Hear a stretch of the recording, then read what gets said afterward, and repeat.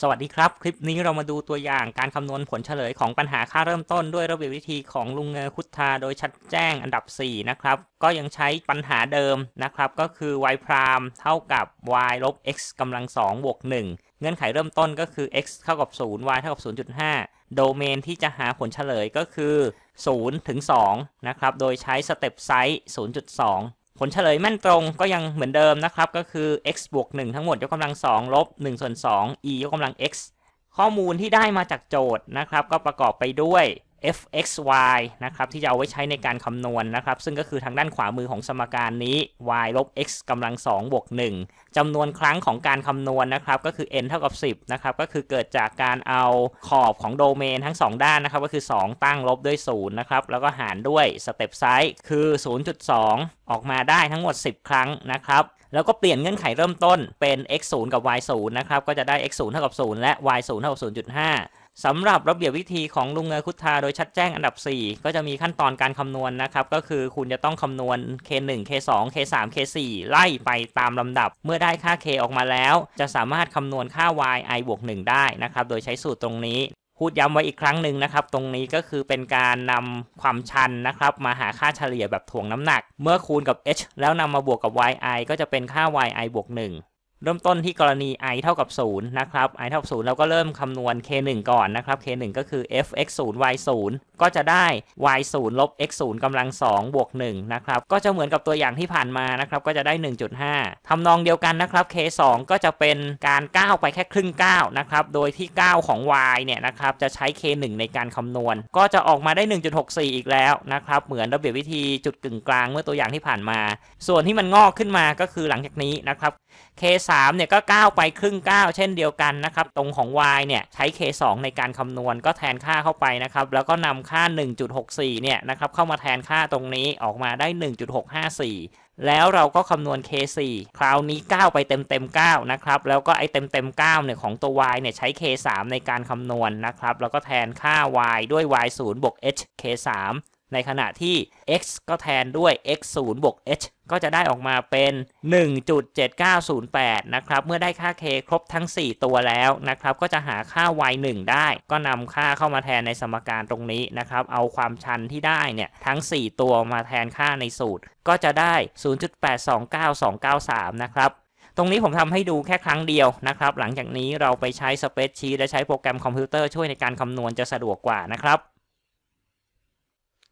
เรามาดูการใช้ spreadsheet คำนวณผลเฉลย ด้วยระเบียบวิธีของ Runge-Kutta โดยชัดแจ้งอันดับที่ 4 กันเลยนะครับเบื้องต้นผมใส่ข้อมูลนำเข้าเอาไว้นะครับ ประกอบไปด้วย step size นะครับคือ 0.2 เงื่อนไขเริ่มต้นนะครับก็คือ x 0เท่ากับ 0 แล้วก็ y 0เท่ากับ 0.5 แล้วก็จำนวนรอบของการคำนวณมีทั้งหมด 10 รอบด้วยกัน จะเห็นว่าตอนนี้ผมเตรียมคอลัมน์ต่างๆ เอาไว้สำหรับระเบียบวิธีของ Runge-Kutta โดยชัดแจ้งอันดับ 4 นะครับ ก็คือประกอบไปด้วย k1 k2 k3 k4 นะครับ แล้วก็ค่า x ค่า y สำหรับการคำนวณค่า k แต่ละครั้งเนี่ยผมไม่ประหยัดคอลัมน์นะครับเหตุผลที่ผมใช้ตรงตัวไปเลย ก็คือจะได้ก๊อปสูตรในการคำนวณค่า k ได้ง่าย ๆนะครับ เพราะว่าการคำนวณค่า k ตรงเนี้ยมันจะอ้างอิงเซลล์ทางซ้าย 2 เซลล์นะครับ เพราะฉะนั้นตรงนี้ผมก็เลยต้องทำ xy xy ไว้ 2 เซลล์เพื่อที่จะก๊อปสูตรได้ง่าย ๆ ก่อนอื่นเราเตรียม x ก่อนนะครับ ก็คือตรงนี้เป็นไงครับ x 1เท่ากับ x 0บวกกับ h แล้วก็ฟิกเซลไว้นะครับ แล้วก็ Copy จนถึง i เท่ากับ 10 จะเห็นว่าโดเมนของเราก็คือ0ถึง2นะครับ ก็ถูกต้องตามที่โจทย์กำหนดมาแล้ว ทีนี้มาดู k1 นะครับ k1 ก็เท่ากับอะไรครับ เท่ากับ y ลบด้วย x กำลัง 2 x คูณ x แล้วก็บวก 1 อ่าได้ 1.5 ถัดมาดู xi บวก h ส่วน 2 ตรงนี้ก็พิมพ์เข้าไปนะครับ เท่ากับ xi บวกกับ h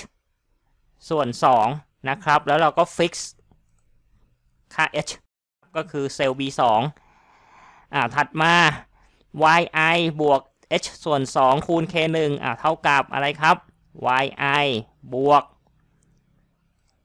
h ตรงนี้คือเซลล์ b2 นะครับ ส่วน 2 คูณกับ k1 k1 กดที่เซลล์นี้นะครับ แล้วก็ฟิก b2 เหมือนเดิม โอเค ตรงนี้เราก็ก๊อปสูตรได้เลยนะครับ ก็คือมาที่เซลล์นี้นะครับ ก็คือ D4 Ctrl C นะครับ แล้วก็มาวางตรงนี้เลย Ctrl V ปุ๊บ ได้ 1.64ทำนองเดียวกันตรงนี้ อะไรครับ เท่ากับ xi บวกกับ h ส่วน 2 นะครับ อ่ารีบ enter ไปไหนเนี่ย fix cell ก่อนนะครับ b2 ตรงนี้ อ่า yi บวก h ส่วน 2 คูณ k 2 ก็เท่ากับอะไรครับ เท่ากับ yi ตัวนี้นะครับ บวกกับ h ส่วน 2 คูณ k 2ก็คือมาจิ้มที่เซลล์นี้นะครับ g 4แล้วก็อย่าลืมนะครับ b 2ต้อง fix นะครับ ได้ 0.664 นะครับ ถัดมา K3 ก็ก๊อปสูตรตรงนี้มาเลยนะครับ มาก๊อปตรงก๊อปตรง K1 หรือ K2 ก็ได้นะครับ ผมก๊อป K2 ตรงนี้มาได้ K3 นะครับ1.654ก็ตรงตามที่เราคำนวณไว้เมื่อสักครู่นี้นะครับ ถัดมา xi บวก h ก็เท่ากับอะไรครับ เท่ากับ xi บวก h ตรงนี้แล้วก็ fix b2 เหมือนเดิมอ่าถัดมาอะไรอีกครับ yi บวก h คูณ k3 เท่ากับ yi บวก h คูณ k3 k3 คือตัวนี้นะครับ ก็มาจิ้มที่เซลล์ j4 นะครับ fix b2 เหมือนเดิมนะครับ แล้วก็ k4 เราก็ก๊อปสูตรตรง k3 มาใส่ตรงนี้ เรียบร้อยนะครับ ได้ 1.7908 ถัดมาค่า y1 เท่ากับอะไรครับ y1 ก็เท่ากับ y0 บวกกับใครครับ บวกกับ h ส่วน 6 คูณกับ อ่า เปิดวงเล็บ k 1บวก2คูณ k 2บวก2คูณ k 3บวกกับ k 4ปิดวงเล็บนะครับ แล้วทำยังไงต่อครับมา fix ที่ b 2เหมือนเดิมนะครับ โอเคได้ 0.829293 แล้วผมก็ Copy ให้ถึง i เท่ากับ 10 นะครับ ก็จะได้เลขเดิมนะครับ เหตุผลเพราะว่าทางด้านนี้ยังไม่มีตัวเลขอะไรเกิดขึ้นมาเลยนะครับ แล้วเราก็เลือก ตั้งแต่เซลล์ K1 ถึง K4 นะครับสำหรับในกรณีที่ i เท่ากับ0แล้วก็ Copy มาจนถึง i เท่ากับ 9 ตรงนี้ก็ต้องได้คำตอบสุดท้ายประมาณ 5.3 นะครับ เมื่อได้ spreadsheet แบบนี้แล้วนะครับ ก็ไม่ต้องกังวลเรื่องกดเครื่องคิดเลข ก็แค่ show work นะครับ ก็คือเขียนรายละเอียดว่าเอาอะไรบวกลบคูณหารกัน แล้วก็มาลอกตัวเลขจากตรงเนี้ยใส่เข้าไปนะครับ ทีนี้มาดู Python กันบ้างนะครับ Python เนี่ยผมก็แก้อันดับตรงนี้เป็นอันดับ 4 นะครับ แล้วก็แก้พวก Title ของกราฟของรูปเนี่ยนะครับ นิดหน่อย แล้วก็รันได้เลยนะครับ